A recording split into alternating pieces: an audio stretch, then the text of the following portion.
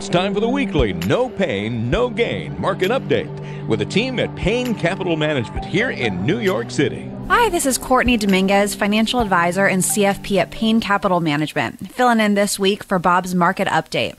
Global market indexes swung between gains and losses this week, just the latest example of headline induced volatility. Let's break this down for you guys. Markets opened this week strong after Friday's job report came out reporting the U.S. unemployment rate dropped to 3.5%, the lowest rate since December of 1969. Trade Watch was the name of the game this week.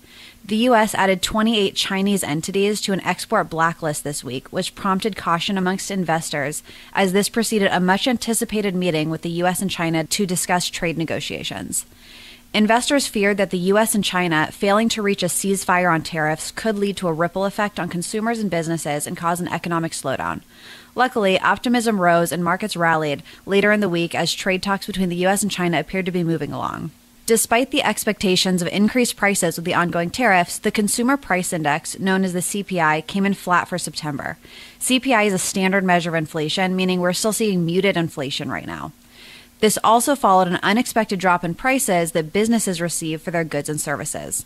The Producer Price Index, a measure of the prices that businesses receive, fell a seasonably adjusted 0.3% in September from the month prior.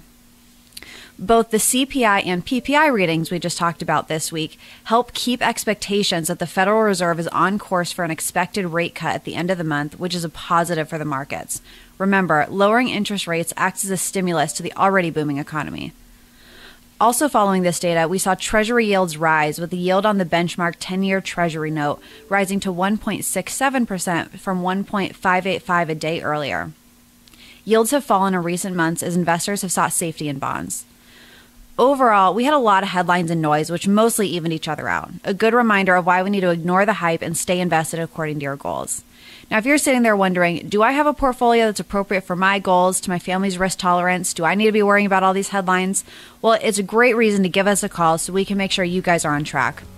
Simply give us a call or text us at 844 752 6692. That's 844 752 6692. This is Courtney Dominguez filling in for Bob Payne on your weekly market update.